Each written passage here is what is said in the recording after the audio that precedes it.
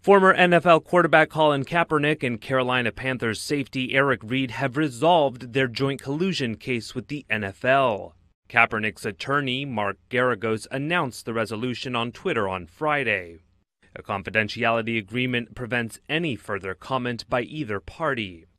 Kaepernick was the most visible of many NFL players to protest against racial injustice during the playing of the U.S. national anthem by taking a knee, a gesture strongly condemned by President Trump.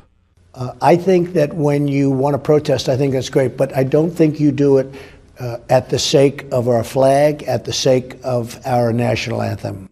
Reid was the first player to follow Kaepernick's lead when in 2016 with the 49ers, he also knelt during the anthem.